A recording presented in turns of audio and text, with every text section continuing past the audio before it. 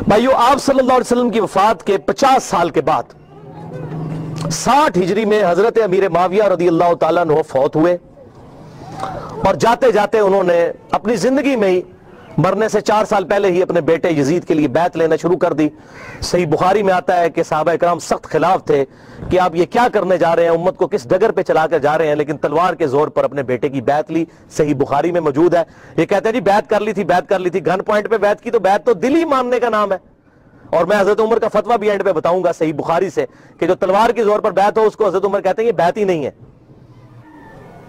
तो साहब कराम ने मुखालफत की, लेकिन वो जो मामला होना था, वो हुआ। वो मैंने मसला नंबर 101 में डिटेल के साथ बयान किया। आज टॉपिक को मैं छेड़ूँगा नहीं, क्योंकि ऑलरेडी मैं इसको एड्रेस कर चुका हूँ। बहरल इस हवाले से सही बुखारी में इंटरनेशनल नंबरिंग के मुताबिक 120 नंबर हदीस है। हज़रत अबू हुरैरा कहते हैं, मैंने हजूर सल्लल्लाहु अलैहि वसल्लम से दो प्याले लिए। एक मैंने तुम्हारे सामने ज़ाहिर कर दिया। यानी ये जो शरीयत का इल्म है, हदीसें मैंने बयान कर दी। और दूसरा प्याला ऐसा है, अगर मैं तुम्हें बताऊँ तो तुम मेरी शाहरत काट दो। ऐसी बातें मुझे हुजूर ने बताई हैं।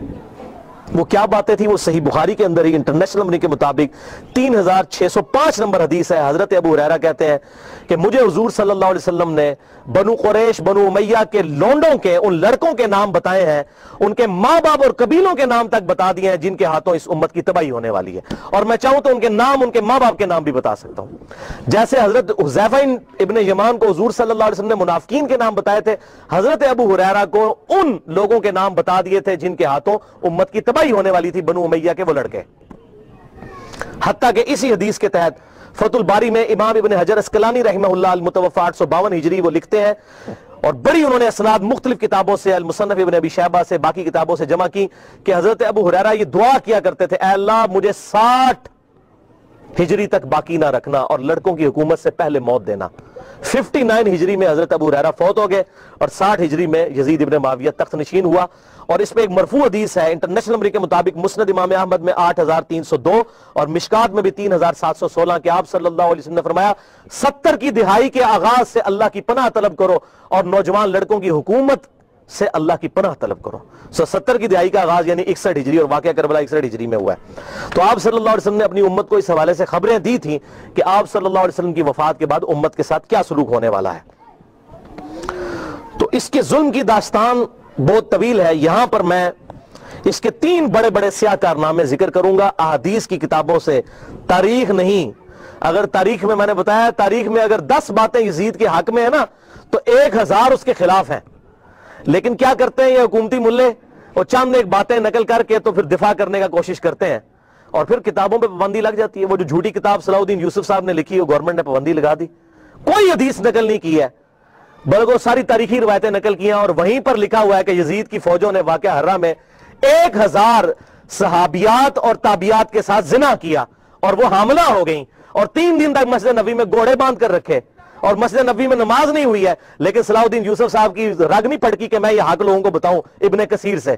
उस इब्ने कसीर से अपने मतलब की बातें नकल की वो बता रहा हूँ, दस बातें नकल की, हज़ार उसके खिलाफ लिखी हुई है।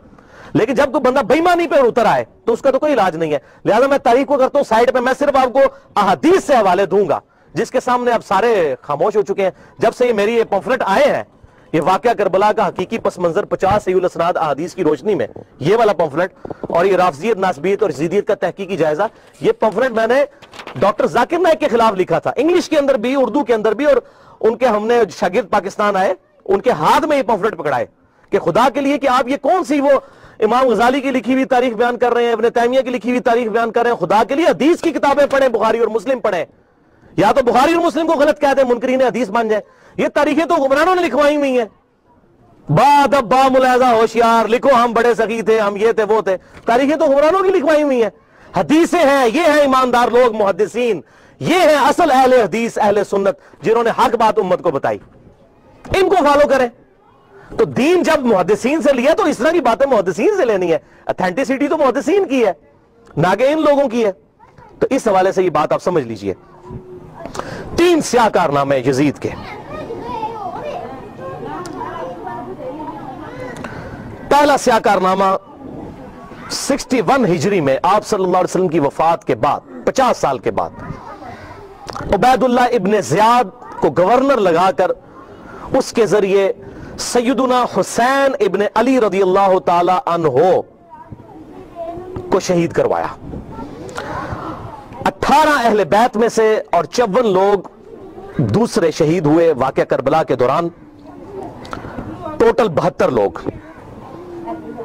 और इसका ज़िक्र सही बुखारी में इंटरनेशनल नंबर के मुताबिक 3748 नंबर हदीस में मौजूद है और सही मुस्लिम में 6309 नंबर हदीस के अंदर भी मौजूद है कि जब हज़रत हुसैन के कत्ल के बाद हज़रत इमाम जैनदीन अली इबन हुसैन रही जब मदीना शरीफ आए तो उनके हाथ में हजूर की तलवार थी, जो हज़रत अली के पास थी, उसके बाद मौला हुसैन के बाद थी। मौला हुसैन के बाद जैन आबदीन के पास आई सही मुस्लिम 6309 तो मिसवर बिन मखरमा रदी अल्लाह तु हाजिर खिदमत हुए और उन्होंने कहा कि, ए नबी के बेटे, ये तलवार आप मेरे हवाले कर दें, वरना ये कहीं बनू उमैया के जालिम लोग आपसे छीन ना लें।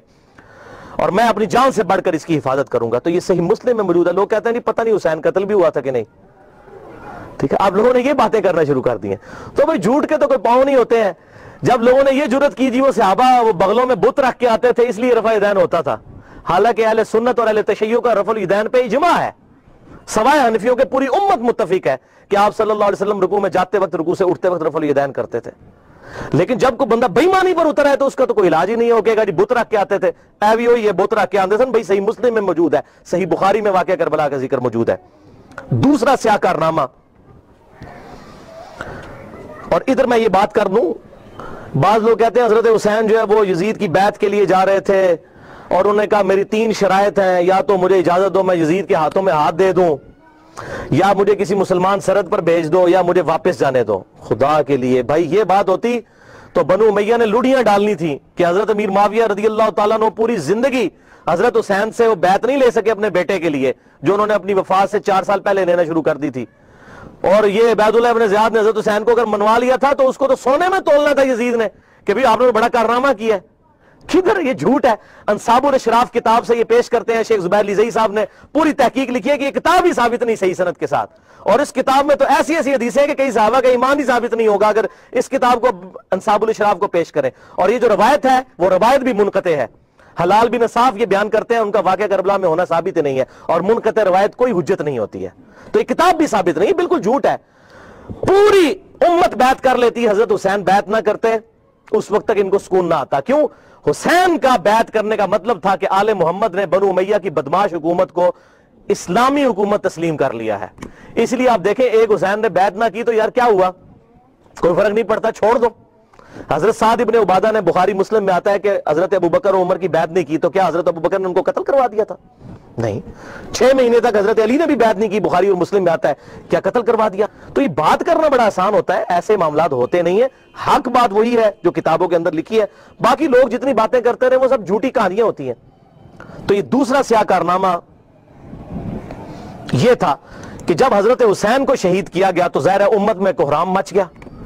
तो जिन लोगों ने तलवार के ज़ोर पर बैत की हुई थी, दबे हुए थे, वो भी मैदान में उतले उन्होंने कहा कि हम यजीद इबन माविया की बैत तोड़ के उसको फेंक देते हैं।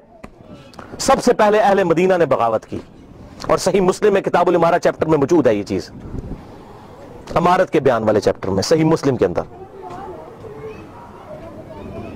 और जब बैत तोड़ी तो ज़ाहिर है कि फिर यजीद को गुस्सा आया, उसने फिर फौज अपनी भिजवाई और उसने अहले मदीना के ऊपर जो है वो चढ़ाई कर दी। तीन दिन तक मदीना तो रसूल को हलाल ठहरा लिया। कि वो हज़रत उस्मान गनी रदी अल्लाह तु जिन्होंने शहादत गवारा कर ली लेकिन मदीने में अपने दिफा में तलवार नहीं उठने दी कि मदीना तो रसूल में मेरी वजह से खून ना गिरे। इस यजीद जालिम शख्स ने मदीने पर हमला करवाया और कत्लेआम मुसलमानों का कर, करवाया? सही बुखारी में कितनी हदीसें मैं उनके हवाले दे देता हूँ। सही बुखारी में 2604, 2959, 4024, 4906 ये सही बुखारी में है। सहाबा का कत्लेआम करवाया। ये कहते हैं सहाबा के गुस्ताख। और जिन्होंने चमचे ਚਮਚੇ सब ਸਭ वे गुस्साख ਗੁਸਤਾਖ ਉਹ साहबा ਸਾਹਬਾ जिन्होंने साहबा ਨੇ ਸਾਹਬਾ ਨੂੰ ਕਤਲ गाली देना तो छोटा जुर्म है, कतल करवाना वाला जुर्म है।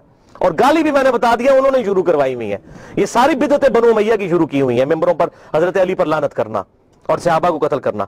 और सही मुस्लिम में तीन हज़ार तीन सौ उनतालीस, तीन हज़ार तीन सौ उन्नीस, तीन हज़ार तीन सौ तेईस से लेकर तीन हज़ार तीन सौ तैतीस तक ये पंद्रह बीस अहादीस हैं जिनका लुबे लुबाब यह है कि आप सल्लल्लाहु अलैहि वसल्लम ने फरमाया, जिसने अहले मदीना को डराया, अहले मदीना को धमकाया, या मदीना में बिदत को जारी किया मदीने वालों पर जुल्म किया, उस पर अल्लाह की लानत, अल्लाह के फरिश्तों की लानत और तमाम लानत करने वालों की लानत।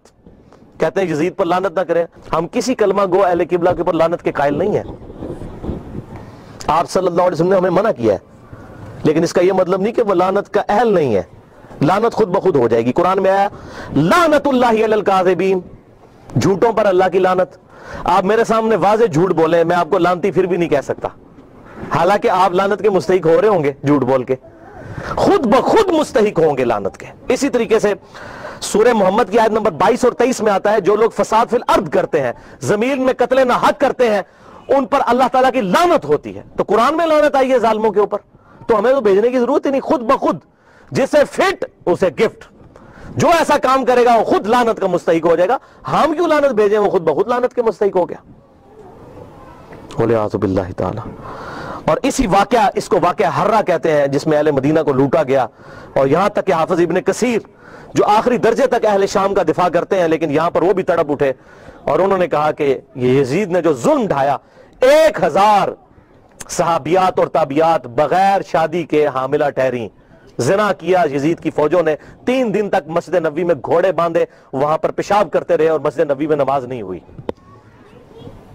और हत्या के फिर हाफिज इब्ने कसीर तड़प उठे जब मुख्तार सखवी ने बाईस हज़ार कातली ने हुसैन को एक एक लिस्ट बनाकर कत्ल किया तो इब्ने कसीर कहते हैं कि इसने मुसलमानों के दिल ठंडे कर दिए। एक तो तवाबून खड़े हुए चार हज़ार के करीब, लेकिन वो बैदुल्ला इब्ने ज्याद का मुकाबला नहीं कर सके। बाद में मुख्तार सखवी ने जिस तरीके से उनको कत्ल किया, जो हज़रत हुसैन के खिलाफ खड़े हुए थे, और आप देखें उसका सरगना कौन था? अमर इब्ने साद साद इब्ने अबी वकास, जन्नती से आबी का बेटा। हज़रत नूह इस्लाम पैगंबर से, बेटा क्या निकला, काफिर? कहते नहीं, साहबा की औलाद। ओ भाई, नबी की औलाद से बढ़कर कौन हो सकता है? हज़रत नूह का बेटा, काफिर। तो उसकी वजह से हज़रत नू को तो कोई लान तान नहीं कर सकता। इसी तरीके से अमर इबन साद जैसे साद इबन अबी वकास जन्नती से आबी हैं। एक मजलिस में जिन दस सहाबा को बिशारत मिली, उनमें ये भी शामिल है। और आखिरी वक्त तक ये हक की आवाज़ बुलंद करते रहे, अल्हम्दुलिल्लाह। अब साद इबन अबी वकास में सिर्फ़ बयान करूँ, किस तरह हज़रत अली के फजाइल अमीर माविया के दौर में बयान करते थे और डंके की चोट पे करते थे और जो लोग हज़रत अली पर लानत करते थे, उनके वो खिलाफ खड़े होते थे। ये पूरा एक टॉपिक है बुखारी और मुस्लिम के अंदर, जो कभी टाइम मिला तो मैं इंशाल्लाह बयान करूँगा। लेकिन बेटा आगे देखें, क्या निकला?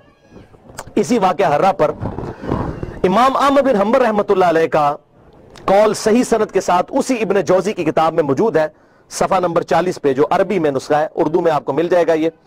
इमाम आमद बिन हम्बल से उनके शागिर्द ने पूछा यजीद इबन माविया के बारे में कि क्या आप यजीद इबन माविया के बारे में आपका क्या ख्याल है? यह अब मैं आपको बताने लगा कि अहले हदीस का क्या मौकिफ था।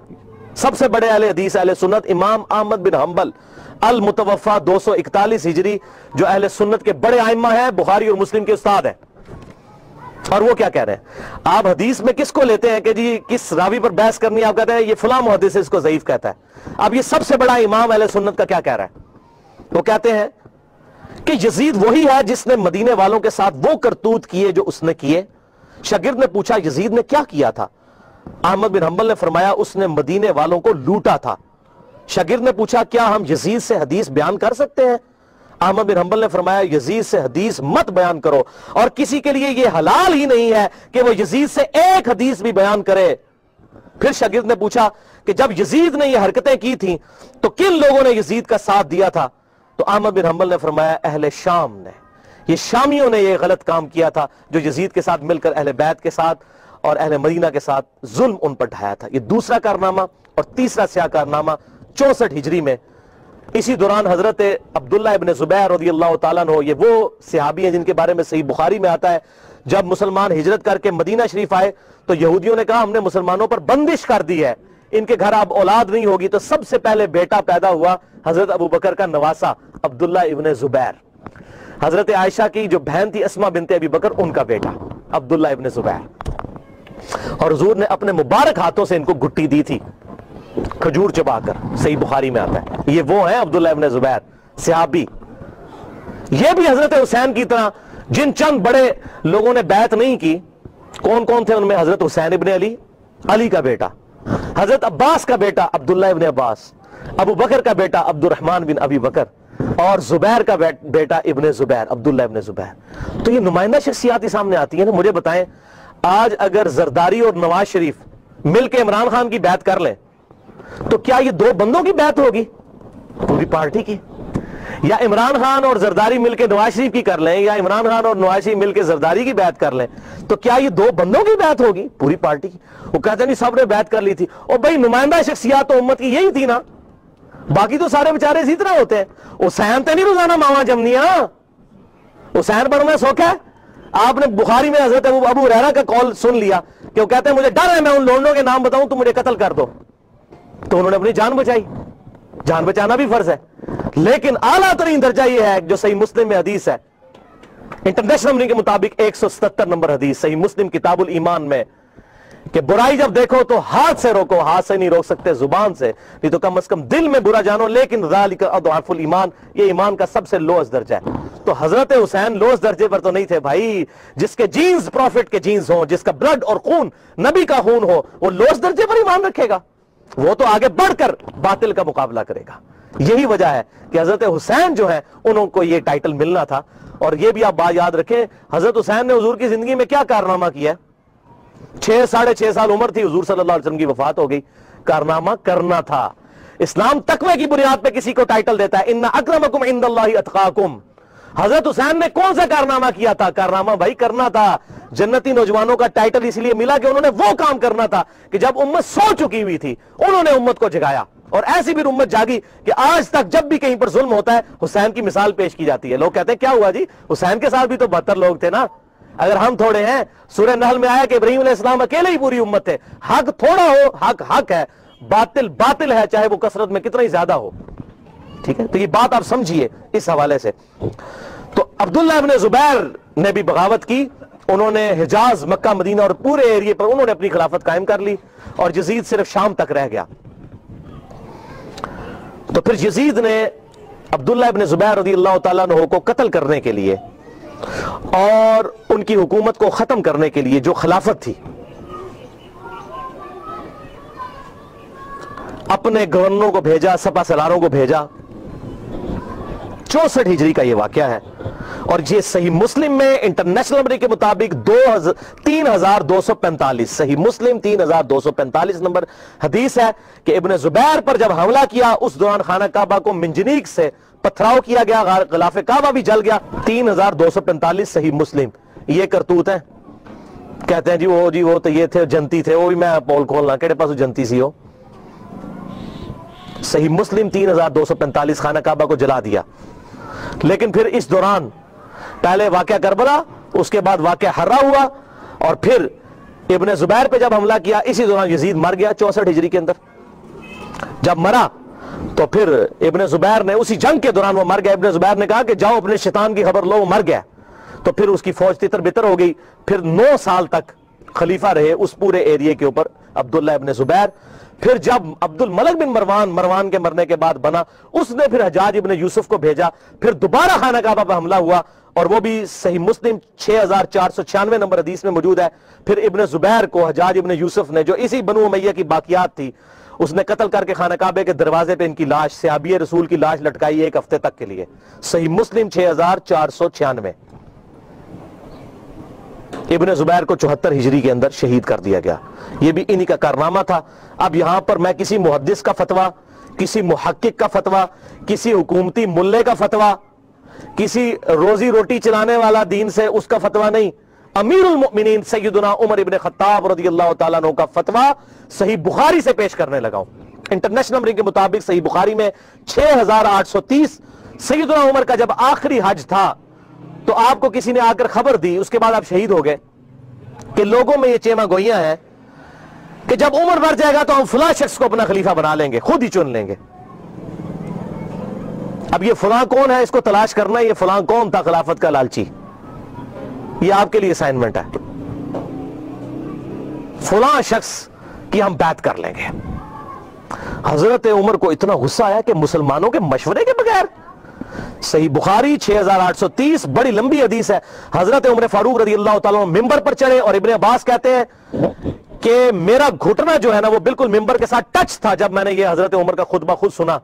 और हज़रत उम्र इतने गुस्से में थे, मैंने कहा कि आज तो ये।